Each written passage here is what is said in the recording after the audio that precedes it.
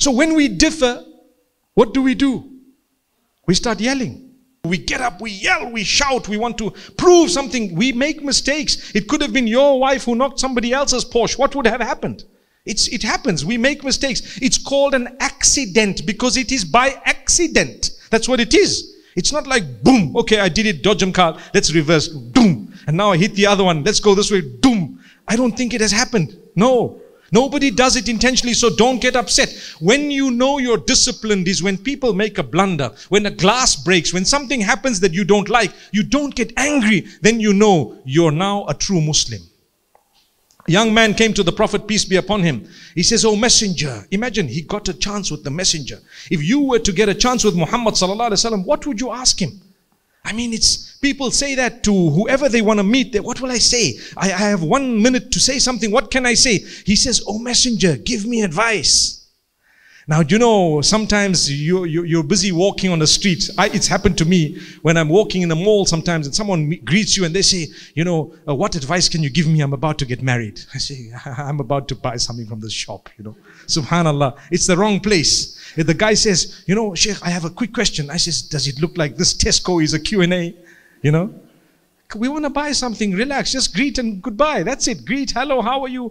You know, polite greetings, and that's it. Alhamdulillah, I'm happy to see you, and I'm glad to see you. Perhaps, maybe nowadays, based on the generation we're living in, a selfie wouldn't be a bad idea. Okay? Although I don't encourage it, but it's okay, fine. However, however, this man says to the messenger, peace be upon him, give me some advice. The messenger, peace be upon him, told him, don't get angry. Why? Maybe he noticed something about this guy, right? Maybe the guy, whatever must have been, only Allah knows. Because the Prophet ﷺ gave different advice to different people and it was unique to this man, you know? So he says, don't get angry. Now imagine if someone were to meet a very you know, a person they look up to and ask them, give me advice. And they told you, be patient. You would like, oh, anything else? You know, like you were expecting more, right? Anything else you have to say? Imagine coming to a motivational evening and just hearing two paragraphs and then we got to go. You would think like, is that it? I think we were ripped off. Subhanallah. Right? But I promise you, my brothers and sisters, the Prophet, peace be upon him, was asked again, okay, give me more advice. He said, don't get angry. Give me more advice. He said, don't get angry. Give me more advice. Don't get angry. Do you know why? Perhaps that man might have had a problem with his temper, but I want to tell you, we all need that advice because we get angry. When things don't happen your way and you can calm down, you're a true follower of that messenger, peace be upon him. You deserve his intercession on the day of judgment. May Allah grant it to us. My brothers and sisters, we get angry very fast. When something in the home doesn't happen, whether it's the child or a spouse or a parent or a sibling, we get so upset. We, and how we, we start venting bad words. We utter vulgar words. And the hadith says a true believer never uses an abusive word.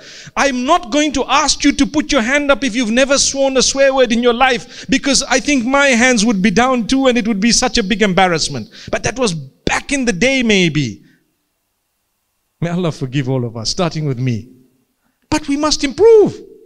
We've said bad words, hurtful words, dirty words, abusive words, and you still claim to be a Muslim, and that's why we're suffering. Subhanallah. You will go to your masjid. The masjid is a place where you're supposed to go for prayer and for worshipping Allah for something good. When you get in, it's going to be too hot or too cold. When it's too hot or too cold, shaitan comes and says, But you're a wealthy man. I'm sure you can raise your voice here. And you say, Open a window.